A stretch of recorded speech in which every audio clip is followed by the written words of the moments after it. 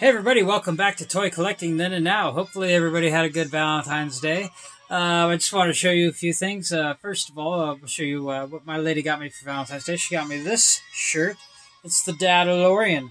Um, like a dad, just way cooler. And that's so, you know, we have a baby coming out in just about two months coming soon, our own little baby Yoda. And as well, she got me, uh, this cute little baby. It's like a little pop-up Valentine thing. It says, just reaching out uh, to say I love you. You know, of course, there's little baby Yoda reaching out. And then she also got me this bucket of little baby Yoda Valentines. I mean, these are little Valentines that you would get for, like, you know, you're, you're going to school. And this one is The Force Strong with You. Of course, got a little lollipop and a little baby Yoda. And then I'm All Ears Valentine. There's that one, more cute little baby Yoda, and then was there's another one I think. Um, this one says, "You're the best in the parsec." So that's pretty cute with the suckers and all that. There might be other sayings in here, but I think there's just a lot of suckers. Bunch of little cards. She kind of had it all spread out on the table when I got home, so that was kind of cool. Um, moving on from that, I also want to show you some other things. Oh yeah, this is a which is the card I got her. It's love with a little BB-8. And the BB-8's actually metal. You could actually have it as a pin maybe, but it doesn't have a pin or the back, or I mean, it doesn't, yeah, it's not a pin, but it's metal. So that was pretty cool. And then on the inside it says, will you BB mine? So that was pretty cute.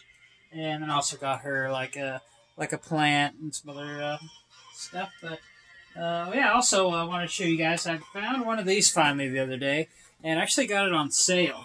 Um, haven't quite opened it up, but it actually does. This one actually does come with the little feet. So it's little feeties, little baby Yoda feet, and you.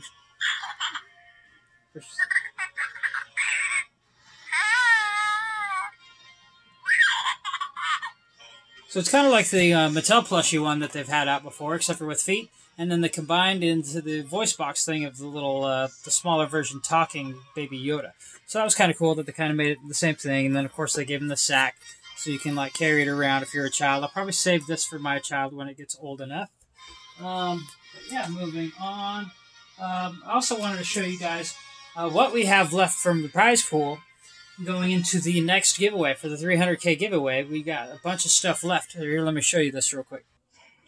So this is what we have going into the next giveaway. So we still have the Baby Yoda watch. The little Baby Yoda there inside the hides inside the little watch. We got one of the lunch sacks left. We got the lollipop dispenser. We got the plushie.